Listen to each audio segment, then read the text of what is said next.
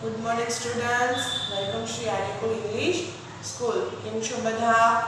હિન્દીનું grammar એક chapter આપણે જે કર્યું લાસ્ટ વિડીયોમાં, આજે આપણે ગુજરાતી વ્યાકરણમાં ભવિષ્યકાળ વિશે સમજ મેળવશું. ચલો વર્તમાન કાળ કર્યું, આપણે થોડું રિવિઝન કરી લઈએ. શું છે વર્તમાન કાળ વર્તમાન કાળ મીન્સ ચાલુ ક્રિયા જે હોય, જે તમે અત્યારે ડ્યુરિંગ કરતા હો, એને વર્તમાન કાળ કહે છે. સપોઝ કે હું જમું છું હું ટીવી જોઉં છું, હું બહાર જાઉં છું, હું વાતો કરું છું, હું સૂતો છું, હું સૂતી છું, હું ભણું છું. એ બધી ક્રિયાઓ વર્તમાન કાળમાં આવી ગઈ. હવે આપણે ભવિષ્યકાળ વિશેની થોડી ડિટેલ્સ લઈશું. જે વાક્યમાં ક્રિયા થવાનો સંભવ હોય, સંભાવનાનો નિર્દેશ હોય, તેને ભવિષ્યકાળ કહેવાય. માની ઉદાહરણ દ્વારા આપણે સમજીએ. સમીર વ્યાકરણ શીખશે. ગાય, ઘાસ ખાશે. હું સ્વાધ્યાય કરીશ. અહીંયા શું ઉદાહરણ હાઇલાઇટ થયેલું છે? શીખશે. ખાશે. કરીશ. એ શીખી લીધું છે વ્યાકરણ ના. શીખશે. ગાય ઘાસ ખાઈ લીધું છે? ના. ખાશે. સ્વાધ્યાય કરીશ? ના. કરીશ. બરાબર? જે ક્રિયા હજી થઈ નથી, પણ એનું શ્યોર છે કે તમે કરવાના જ છો. સમી વ્યાકરણ શીખવાનું જ છે. ગાય ઘાસ ખાવાની છે. હું સ્વાધ્યાય કરીશ. જે ઇન ફ્યુચર નજીકના ભવિષ્યમાં જે ક્રિયા થવાની હોય, એને ભવિષ્યકાળ કહે છે. અહીં એક થોડા વધારે ઉદાહરણ દ્વારા સમજીએ. મારી પાસે ચાર ચોકલેટ છે. અને ભવિષ્યકાળ કરો તો તમે લોકો કેવી રીતે થશે?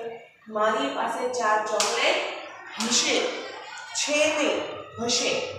મેં વાર્તાનું પુસ્તક વાંચ્યું. વાંચ્યું? થઈ ગયું છે, વાંચી લીધું છે, પણ આપણે શું કરવાનું છે? ભવિષ્યમાં જવાનું છે. તો મારું વાર્તાનું પુસ્તક હું વાંચીશ. વાંચશે. તું સવારે વહેલો ઉઠ્યો. ઉઠ્યો એ ક્રિયા પતી ગઈ છે, પણ આપણે એને ક્રિયા પાછી કરવાની છે. એટલે હું સવારે વહેલો ઉઠીશ. અજય સાયકલ ખરીદી. અજયે સાયકલ ખરીદી. અજયે સાયકલ ખરીદી દીધી છે. પણ આપણે એને ભવિષ્યમાં દેખાડવાનું છે.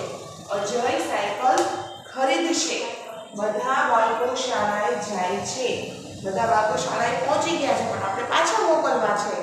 બધા બાળકો શાળાએ જશે. મારા પપ્પા દુકાને ગયા. પપ્પાને પાછા સવારે કહેવાનું છે દુકાને જવાનું. તો શું કહેશું? મારા પપ્પા દુકાને જશે. તારો ડબ્બો ખાલી હતો. ખાલી હતો એટલે અત્યારે ભરેલો છે. નહીં, તારો ડબ્બો ખાલી હતો. તારો ડબ્બો ખાલી હશે. અમે રાષ્ટ્રગીત ગાયું. અમે રાષ્ટ્રગીત ગાયું એટલે ગીત ગવાઈ ગયું છે. ગીત ગાવાનું નથી, ગીતને બીજી વાર ભવિષ્યમાં ગાવાનું છે એટલે અમે રાષ્ટ્રગીત ગાશું. અહીં એટલા ઉદાહરણ છે અહીંની વ્યાખ્યા છે, તમને ના સમજાય. એક વખત તમે આનું રિપીટેશન જોઈ લો, થોડાક ઉદાહરણ મમ્મી અને પપ્પાની મદદ લઈને કરો. ના સમજાય તો તમે મને ફોન કરીને તમારો કોઈ પણ કોન્ટેક્ટ તમે કોઈ પણ તમારો ક્વેશ્ચન પૂછી શકો છો. Thank you